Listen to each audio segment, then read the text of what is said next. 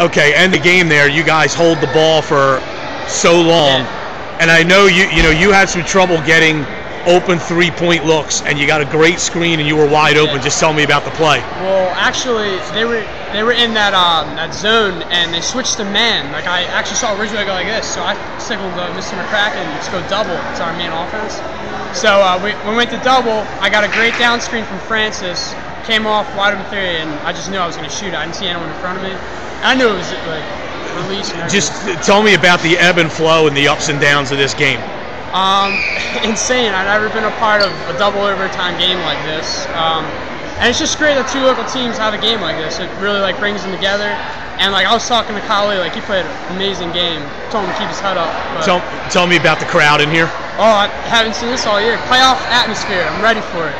Um, I know this was a big win for you guys because I, I know nothing's official yet, but you may be as high as the two seed in Yeah. Group One. I mean, what's that like for you? Um, first time in decades, and I'm just really proud to be a part of it. It's hard work and dedication.